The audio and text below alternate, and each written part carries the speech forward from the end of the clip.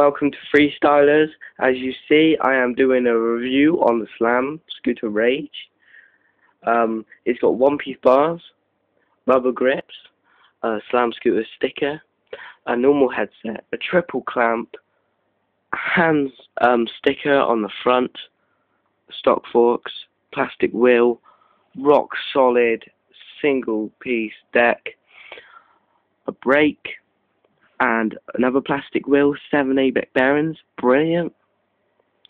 This ranges from 70 to 80 pounds and it is worthwhile buying for the money. Make sure you comment and subscribe. Thank you for watching.